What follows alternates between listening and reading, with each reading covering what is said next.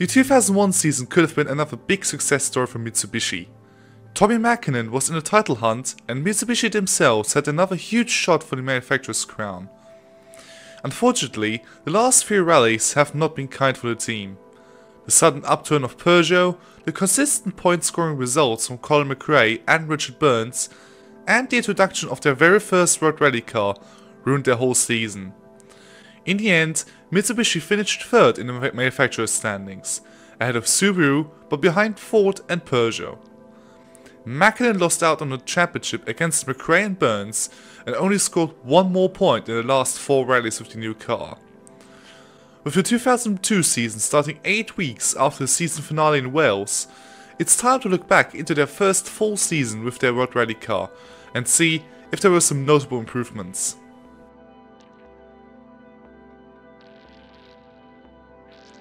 To start off, Mitsubishi had to field a brand new driver lineup. Tommi Mäkinen left the team to join its rival Subaru for 2002 and 2003. Freddy Loix also left the team after three tough years to join Hyundai instead. Their first driver was the Frenchman François Delecour, who came from Ford after an average year where he finished on the podium once. Delecour was a former winner in the WRC who made his first appearance in 1984. His prime was in the early 90s when he joined Ford full-time and remained there from 1991 and up until 1995. He came close to winning the title in 1993, however, he lost out to Juha Kankkunen. He won his last rally in 1994, winning in Monte Carlo until an injury forced him to sit out for several rallies. In 2002 however, he was far from his best, but his experience could be important for the car's performance. The second driver was Alister McRae, who came from Hyundai, basically switching his position with Loix. Alister is the younger brother of Colin McRae and made a mark for himself, showing some strong performances in the Hyundai Accent, a car far from being competitive. His best result was the 4th place in the Wales Rally GB in 2001, showing his true potential. A third car was prepared for selected rallies for the young Finn Jani Paasonen, who had the chance to show what he was made of in his few starts. Ralliart Europe was still managing the whole operation at the time, with Andrew Cowan remaining as the team principal and Bernard Lindauer remaining as their chief engineer. But seeing as they still had to use their unproven World Rally car, and with their team leader Mäkinen gone, what could go wrong? The season opener for the 2002 season was in Monte Carlo, as usual. A rally where the Mitsubishis have done well in the past, with Mäkinen winning all three rallies from 1999 onwards. But things weren't starting well for Mitsubishi. Delecour would have to fight for a top 8 spot, whilst McRae would struggle throughout the event with the car, being consistently slower than his teammate. At least the car showed some reliability, as Delecour would actually finish the rally inside the top 10, but if the point format be different, only the top 6 would score points, he sadly missed out. McRae did eventually finish in 14th, being over 11 minutes off the winner. To rub salt in a wound, Tommi Mäkinen would actually win his first rally in the Subaru Impreza, showing that it was not entirely Mäkinen's fault for a poor performance last year. The Rally Sweden saw the debut of the Finn Jani Paasonen, driving the third Mitsubishi Lancer Evolution World Rally car for this event. On this rally, the car would finally show some speed in the hands of new boy Paasonen, who managed to end day 1 in 4th, having finished all stages within the top 10. Alister McRae couldn't quite keep up with Jani, but still managed to finish the day quite solidly, unlike Delecour, who beached his car in a snowbank. Unfortunately for Paasonen, he couldn't keep up his level, as he hit a rock and dropped back to 18th. He was trying to claim back some positions, but he never found his speed from day 1 again, and finished 14th. Delecour also tried to make up some lost time. Having only finished one stage inside the top 10, he finished 34th overall. McRae however was still doing some solid times, finishing multiple stages inside the top 10, which gave him a shot at driver's points. Things were getting slightly easier for him when his brother Colin also beached his car in a snowbank, dropping him outside of the top 10. On the final day, McRae finished 3 out of 4 stages inside the top 10, and thanks to the unfortunate retirements from Freddy Loix and Kenneth Eriksson in the Skoda, McRae finished the rally in a fine 5th place, just 3 tenths ahead of his brother Colin, having achieved the best result for a Mitsubishi Road Rally car so far in its lifespan. In Corsica, Mitsubishi only ran with Delecour McRae, with Paasonen returning later on during the season. It was another rally when the Mitsubishis were just not fast enough to make the difference. Delecour's best stage results were two 8 places and in the end he finished the rally in 7th. And because Philippe Bugalski Citroën and Richard Burns Peugeot couldn't score manufacturer's points, Francois managed to finish to take home two important points in the manufacturer's championship. He also profited from the retirements from Tommi Mäkinen and Colin McRae, who injured his hand in the process. Alister McRae was not able to keep up with his teammate, but he still managed to finish inside the top 10. But it still meant no driver's points for both Mitsubishi drivers. Spain went largely the same for the Mitsubishis, only a bit worse. Delecour was the quickest driver of the two, whilst McRae tried his best to stay competitive, but failed to finish a single stage inside the top 10 while suffering from punctures and slight mistakes. He eventually finished 13th overall. Delecour struggled as well, but on the final day he found just some serious speed and finished 4 out of the 6 stages inside the top 10, with 6th place being his best result.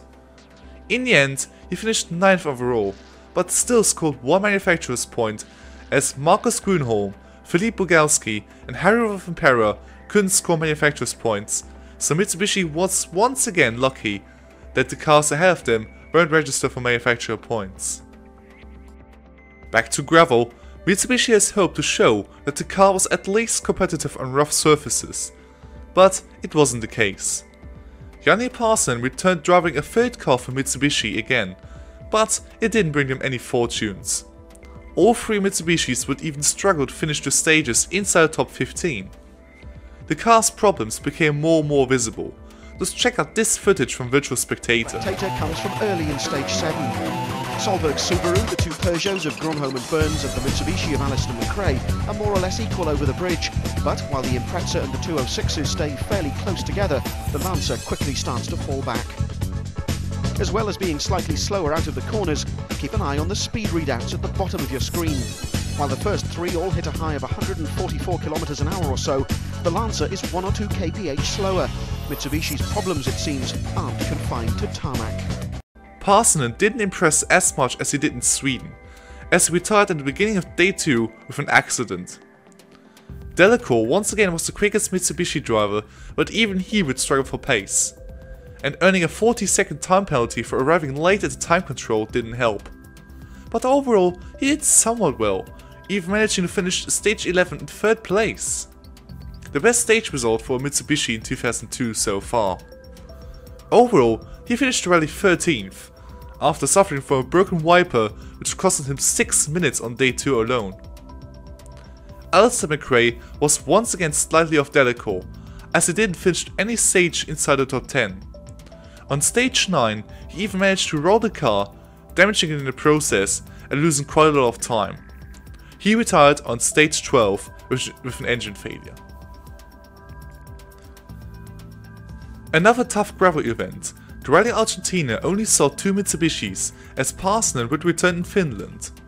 By then, the problems of the rush development of the car were evident, so expectations weren't high. This time, Alister McRae was the quicker driver of the Mitsubishis, but still missed out on the top 10 stage finish on day 1. Delecour's rally ended early with an accident damaging the car so much that he was forced to retire, his first DNF of the season. From day 2 onwards, McRae's performance was slightly better, as his best stage finishes were two 7th places. At the end, he finished the rally in 10th, but thanks to disqualification of Marcus Grönholm and Richard Burns, he moved up to 8th place, missing out on the manufacturer's points by one position. Unfortunately for Mitsubishi, the Skodas of Toni Gardemeister and Kenneth Eriksson have finished the rally in 5th and 6th, giving them some much needed manufacturer points. Yet another gravel event for the WRC drivers, and yet another typical car wrecker. And just like the previous rallies, not much has changed for the Mitsubishis. Both are still struggling for pace. This time, both Mitsubishis were equally matched on pace. But they were mostly stuck at 11th, 12th or 13th. McRae only finished one stage inside the top 10, but retired on day 3 when he clipped a rock, breaking his steering. Thanks to the retirements of Freddy Loix and Richard Burns, Delecour finished the rally in 10th place, having only finished two stages inside the top 10. Yet another poor show for the team, and they need to be worried as the Hyundais are getting quicker and quicker. The Safari Rally, probably Mitsubishi's biggest chance to score some points due to the nature of this rally. Unfortunately for Delecour, he suffered an engine failure on stage 4, leading to his retirement. Alister McRae also had quite a lot of problems, including his engine, but thankfully for the team, he managed to keep going and he finished the rally in 9th, scoring yet another lucky manufacturer point, due to the Citroens and Panizzi not scoring manufacturer points in Kenya. McRae was the last finishing manufacturer car in this event as well. By this point, it was clear that Mitsubishi needed a new car to be competitive again. And for Finland, they brought in the improved Mitsubishi Lancer Evolution World Rally Car 2. The car featured a new front bumper, adjustments to the cooling system for better cooling between the brakes and the engine. The engine transmission layout was also changed for a better set of gravity. Also, the car included a new turbo and a new exhaust layout. Some changes in the transmission were made to make life easier for Delecour and McRae, who couldn't adjust to the driving style Mäkinen had, who required an aggressive left foot braking technique. Moreover, the suspension was allowing for more travel and rigidity. Mitsubishi hoped that with this evolution, the team could score some much needed manufacturer's points, because at that stage, they were 5th, behind Skoda by 1 point, but still ahead of Hyundai, being only 1 point ahead. For Rally Finland, Janne Paasonen finally returned, also getting the chance of driving the new Evo WRC2. Things won't look better for McRae and Delecour. Francois retired on day 1 with a suspension problem, being the slowest Mitsubishi driver. McRae managed to finish only one stage inside the top 10, but he also retired from the rally with suspension trouble, also not being on the pace. This leaves Jani Parson as the only remaining Mitsubishi. He did show some improvements of the car, finishing multiple stages inside the top 10, including a 4th place on stage 17. And overall, he finished already 8th, just missing out on some much needed manufacturer's points for the team. It was time for the first tarmac event for the new car, Rally Deutschland being held for the very first time in the official WRC calendar. It was not the best rally for Alister McRae. Once again slower than his teammate, he suffered a turbo failure on stage 7, leading to his retirement on day 1. Delecour meanwhile was on a decent run. After a slow start, he endured a fine day 2, moving up from 14th up to 7th overall, setting the second fastest stage time on stage 13, showing that the new car is having some potential. On day 3, he would finish all stages inside the top 10, only dropped back to 9th overall, but still scoring a manufacturer's point, with Loeb, proudly entered Bruno Thiry and Carlos Sainz not scoring manufacturer points. Round 11 of the championship to cruise to San Remo, the last asphalt rally of the season. San Remo was also the rally where Mitsubishi had introduced their first rally car last season, and things didn't look much better in 2002. McRae forgot to secure the bonnet after they checked the engine after stage 1, so during stage 2 the bonnet opened and was slightly damaged in the process. This mistake costed McRae quite a lot of time. At the end of day 1, Mitsubishi withdrew McRae as he had a motorbike accident before the event and things didn't heal properly. He was forced to sit out the remainder of the season. Delecour meanwhile had some small problems with his turbo and his brakes during the rally. However, he still finished the rally inside the top 10 and because Marcus Grönholm, Jesus Perez, Cedric Robert and Harri Rovanperä didn't score manufacturer points, Mitsubishi once again earned another point, moving back up to 4th in the Manufacturers Championship. With Alister McRae being ruled out for the rest of the year, Janne Parson took over his place in the car. Delecour was the slower Mitsubishi driver this time. He mostly struggled at this event, plus he had to be the road sweeper on day 2, which hindered his progress. Still, a fine consistent drive rewarded him with 9th place at least. Parson, however, could have been the man of the rally. On day 1, he was in a fight for some big points, just like in Sweden. To the delight of the team, Parson would set the fastest stage time stage 5, giving the team their first ever stage win with the new car and their first stage win in over a year. At the end of day 1, he was 5th overall, finishing the first two stages of day 2 inside the top 6. Things were looking good for Parson and Mitsubishi. Unfortunately, all dreams of points were ended when Parson entered a corner too fast and crashed out of the rally, retiring immediately. And as we see later, this could have been a costly mistake. The Hyundais of Freddy Loix and Juha Kankkunen finished 5th and 6th, equaling with Mitsubishi, but they were still behind them thanks to McRae's 4th place finish in Sweden for the manufacturer's standings.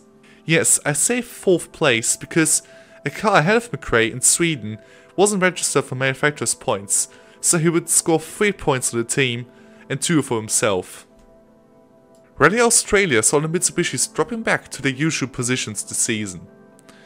Delecour was once again slower of the Mitsubishi pair, but this would be the least of his worries. On stage 7, he and co-driver Daniel Grataloup suffered one of their biggest crashes in their career, when he clipped a stone near inside and slammed into the trees with high speed. Delecour was luckily not badly injured, but Daniel Grataloup suffered injuries which led to his retirement from co-driving. This left Janne Parson as the only remaining Mitsubishi driver of this rally. He would not repeat his New Zealand heroics, as he largely finished the stages outside the top 10. After he rolled the car on stage 16, he received a 1 minute time penalty after a long repair time. He would finish the rally in 9th place, missing out on manufacturer points. Things got worryingly close for Mitsubishi, as Gardemeister scored another point for Skoda, dropping Mitsubishi back to 5th in the Manufacturers Championship. This is getting tight. The final rally, as usual, the Wales Rally GB.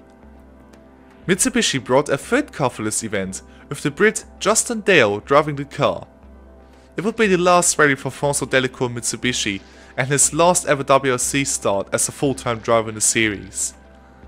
But, as usual for the Mitsubishis, they were way off the pace. Dale only survived 3 stages being way off the pace and retired from the rally after an accident. Both surviving Mitsubishis went through day 1 without problems, but both retired on the same stage on day 2. Parson crashed out in the same place where Grönholm crashed out earlier, resulting in an accident which summed up Mitsubishi's horrible year. Delecour passed the accident scene but still retired some kilometers later after Delecour clipped a hail bale resulting in a retirement. In the end, thanks to Markko Märtin and Mark Higgins not scoring manufacturer's points, Freddy Loix secured the final manufacturer point for, for Hyundai, moving them up to 4th, and they dropped Mitsubishi back to 6th and last in the Manufacturers Championship. The summary of the season is quite easy, it was terrible. Finishing only once inside the top 6 and scoring the rest of the manufacturer's points by pure luck is a sign that even the car is bad or the drivers were just underperforming. But in fairness to the drivers, Mäkinen and Loix also struggled with the car in 2001.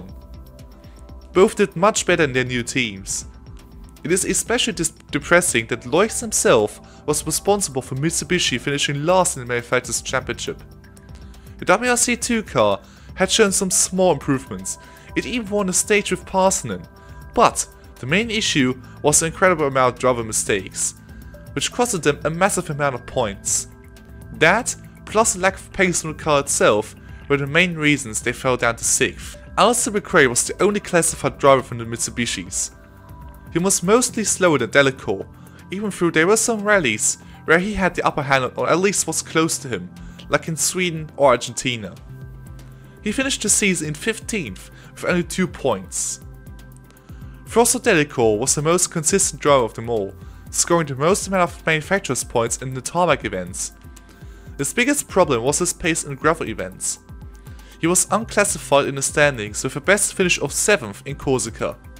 Janne Parson was the quickest but most inconsistent driver of them all. He won the only stage in Mitsubishi this season and was the quickest driver in his appearances. But his biggest problem was his lack of experience, which led to multiple crashes. His crash in New Zealand most likely costed the team P4 the Manufacturers' Championship. He was unclassified in the standings with a best finish of 8th in Finland. In the next part of the series, we are going to focus on the restructuring progress of Mitsubishi, as they've decided to make the sabbatical year for 2003 to restructure their whole organization and to focus on development for their 2004 car. Until then, see you then.